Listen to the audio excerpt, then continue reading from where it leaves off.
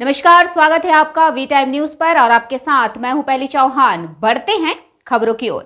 मोतिहारी ज़िले के फेनहारा थाना क्षेत्र के देवकुलिया चौक के समीप शनिवार की रात्रि में पिकअप गाड़ी और मोटरसाइकिल के बीच जोरदार टक्कर हुई, जिसमें मोटरसाइकिल चालक बुरी तरह से घायल हुआ।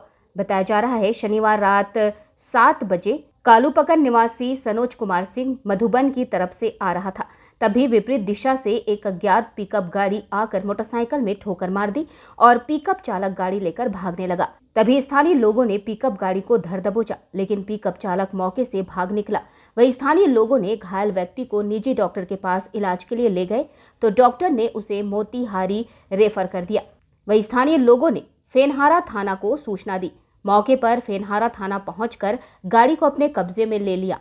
पिकअप गाड़ी नंबर है B R zero six G A five double six three वही एस आई मसरूम आलम ने बताया, घायल व्यक्ति की तरफ़ से आवेदन मिल चुका है। एफ़ आई आर कर आगे की कार्रवाई की जाएगी। वी टाइम न्यूज़ के लिए मोतिहारी, फेरहारा से संतोष सुमन की रिपोर्ट।